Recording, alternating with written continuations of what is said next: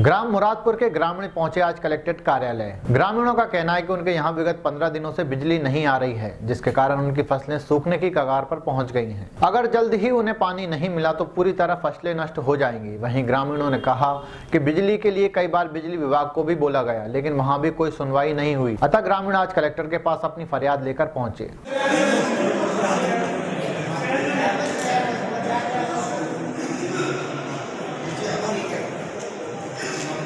Yeah. आज से पंद्रह दिन पहले से उसी जली पड़ी है और फ़सल सूख रही है। बल्कि साहब ने पाल दी उसे पैसे ले लिए सत्तर हज़ार और उनको लाइट दे रहे हैं। और लैंडमैनों ने लिए अठारह अठारह हज़ार रुपये अगर हम उसे उस अगर हम उसे उसी से लगाने जाते हैं ना तो साहब पाल दियो तो बुलाता है और वो बंदूक हम पे चलाते हैं। दो बार विवाद हो चुका है। जो विवाद हो गया हाँ वो इसी बिजली के चक्कर में हुआ है। और साहब हमारी उसी नहीं रख रहा। रिश्वत मांग रहा रिश्वत दे दो मैं आपको बोल दूँगा। फलाना साहब सुपरवाइजर।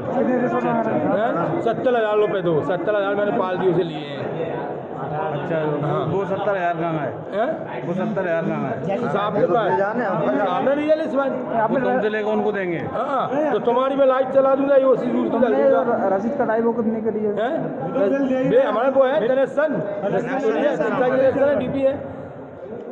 क्या नाम है तुम्हारा? यशवंत यादव उप सरपंच कितने मुरादपुर गाँव परेशान है उस चीज़ हमारे गाँव है तम चार पाँच गाँव। अच्छा। और मजरा सच भी हैं। तीन चार मजरा सच है वो भी। का फ़सल सूख रही बीपीएल नहीं आ रही मवेशी प्यासल मर रही है पानी की इनको नहीं है। ना पानी पीवे है ना कछु करवे फ़सल सूख रही तो है लाइट ही नहीं कितने किसान हैं?